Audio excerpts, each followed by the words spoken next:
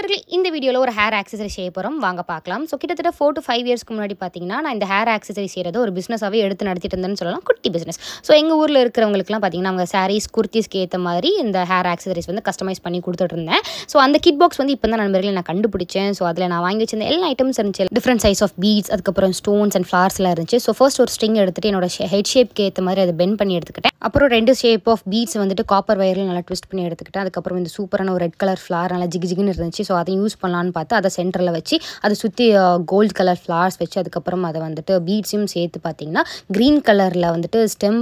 tape வச்சு அதை ஃபுல்லாக வந்து நான் செக்யூர் பண்ணி எடுத்துக்கிட்டேன் இது ட்விஸ்ட் பண்ணுறது ரொம்ப கஷ்டம் எனிவேஸ் ஒரு க்யூட்டான சிம்பிளான ஒரு ஹேர் ஆக்சரி வந்து ரெடி பண்ணியிருக்கேன் ஸோ இதை வந்து இந்த மாதிரி பின்னாடியும் வச்சுக்கலாம் இல்லாட்டினா சைடும் வச்சுக்கலாம் நண்பர்களே எனக்கு சைடு வைக்கிறது ரொம்பவே பிடிக்கும் ஏன்னா அந்த காது சைடு வந்து அந்த ஃப்ளார் தெரிய ரொம்ப அழகாக இருக்கும் உங்களுக்கு எது பிடிச்சிருக்குன்னு கமெண்ட் பண்ணுங்கள் போக போக இதோட சூப்பராக இம்ப்ரூவ் பண்ணுற நண்பர்களே ரொம்ப நாள் கழிச்சு பண்ணாலும் கஷ்டமாக தான்